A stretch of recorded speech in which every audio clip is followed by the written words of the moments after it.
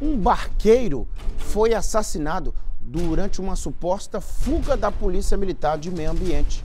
O assassinato de Valdeci de Jesus, de 38 anos, foi registrado em Jequitinhonha. Duas pessoas suspeitas do crime foram presas. O Fantoni Pes está chegando para explicar isso aí, Fantoni. É, estaria fugindo da Polícia de Meio Ambiente? Não entendi bem essa parte. Você vai contar para gente? Boa tarde, meu amigo. Boa tarde, Nicomedes. Boa tarde a todos que nos acompanham pelo Balanço Geral. Nicomedes, o barqueiro, juntamente com a família e mais um amigo, almoçavam quando duas pessoas chegaram rapidamente e disseram que fugiam de uma equipe da Polícia Militar de Meio Ambiente porque estavam com armas e possivelmente estavam fazendo uma caça. Então, para que eles fugissem da polícia, eles precisavam atravessar o rio Jequitinhonha. Então, o barqueiro saiu da mesa onde almoçava com a família e foi em direção ao barco, o Valdeci de Jesus, de 38 anos. E ao se aproximar da embarcação, um dos homens que estava com uma espingarda efetuou pelo menos três disparos com a arma nas costas do Valdeci, que morreu no local. Em seguida, os dois suspeitos fugiram e a família ficou em desespero e acionou a polícia militar, que chegou ao local, fez os levantamentos, recebeu as informações e a partir daí, conforme você sempre diz, as características do cidadão. Detalhe é que eles estavam encapuzados. Eu também estou curioso para saber esse detalhe. Por que, que pessoas que estavam em fuga da Polícia de Meio Ambiente estavam encapuzadas, atiraram no Valdeci?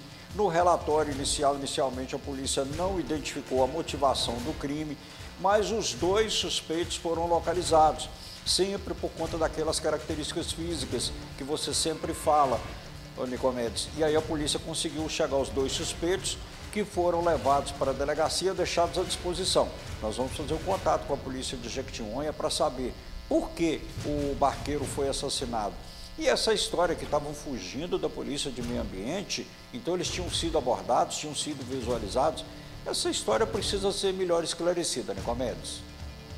Sim, e cada detalhe aí, né, uma conversa, aquele diálogo é, entre a, o delegado, né, os investigadores e as pessoas presas, essa dupla no caso, qualquer detalhe ali já vai ensejando novas perguntas e daí é, vai chegando a, a, verdade, né, a aproximação da verdade sobre esse fato. Vamos acompanhar de perto, né, como você disse, estamos curiosos para saber, mas não só curiosos, mas também para saber né, o que leva essa dupla a, a ceifar a vida de uma pessoa dessa forma. E covardemente, né? Porque efetuando os disparos pelas costas, né?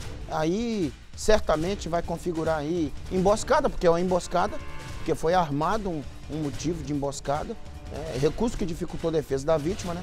Os disparos foram efetuados nas costas, aí vai saber o motivo, né? Se é motivo topo, topo, fútil, por aí vai, né? É, ô Fantoni, é, quem tiver informação, passar aí para o 181, por disque denúncia, ou para o 190 da Polícia Militar.